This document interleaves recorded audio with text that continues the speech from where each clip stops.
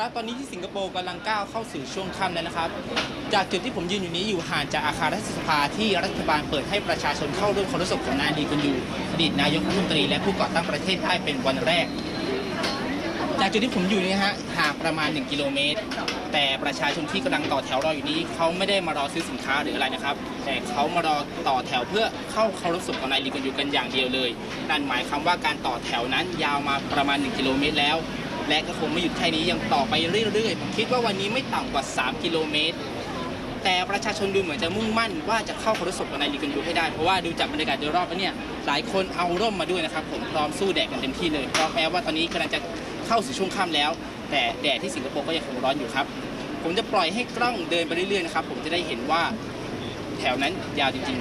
ๆประชากรสิงคโปร์นะครับมีประมาณ 3 ล้านคน แต่ผมคิดว่าวันนี้เกือบ1%หรือประมาณ 1 0 0 0 0 0 คนจะพยายามเข้าคารพศพขนายลีกุนยูให้ได้ ล่าสุดนะครับผมอ่านจากแถลงการของสำนักนายกรัฐมนตรีสิงคโปร์นะครับผมที่กำลังเปิดอยู่ตรงนี้เลย บอกว่ายอมรับว่ามีประชาชนให้ความสนใจเข้าเคารพศพของนายลีกุนยูกันอย่างล้นหลามทำให้รัฐบาลตัดสินใจ จะเพิ่มเวลาที่อนุญาตให้เข้าเคารพศพได้จากเดิม 10 นาฬิกาถึง 20 นาฬิกาเป็น 24 ชั่วโมงนะครับนั่นหมายความว่าจากเวลาตรงนี้เนี่ย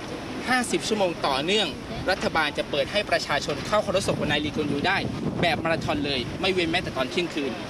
ถือเป็นปรากฏการณ์ที่ไม่ได้เกิดขึ้นง่ายๆเลยนะครับผมในชาติอาเซียนของเรา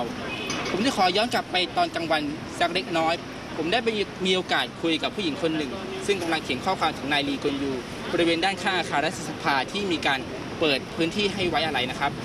ผมคิดว่าคำพูดของเธอเนี่ยแสดงถึงอารมณ์ของชาวสิงคโปร์ในตอนนี้ได้เป็นอย่างดีไปฟังครับ Uh, excuse me, uh, can I just ask you that what are you writing for Mr. Lee Kuan Yew? I'm writing to um, thank you our founding father of Singapore that um, he has built uh,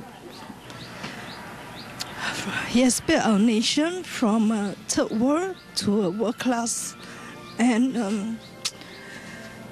he's a lawyer in practice, so he could have uh, lead an easier life just being a lawyer. But he chose to be our first prime minister of Singapore, and. Um,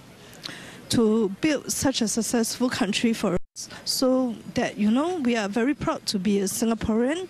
and um, just hope that you know he rests in peace and um, be with his wife and um, be happy always. Yeah, thank you. We love him very much, right? Um, yes, I think not only me. I think the all the Singaporean, the whole nation, um, just words can express um, how much that um, we appreciate him for whatever he have done all this while. Yeah. Again, sorry for your loss. All right.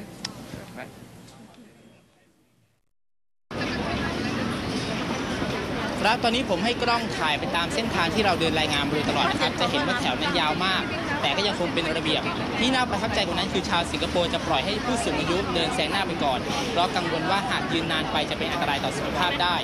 ขณะที่องค์กรภาครัฐ และบริษัทเอกชนบางแห่งจะอนุญาตให้พนักงานลางานได้เพื่อมาศพของนายลีกุนยูครับ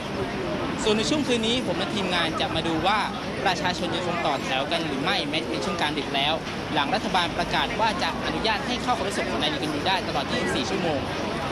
พศพลชัยสมิทธิ์ผล ทีมข่าวอาเซียนสปริงนิวส์รายงานจากประเทศสิงคโปร์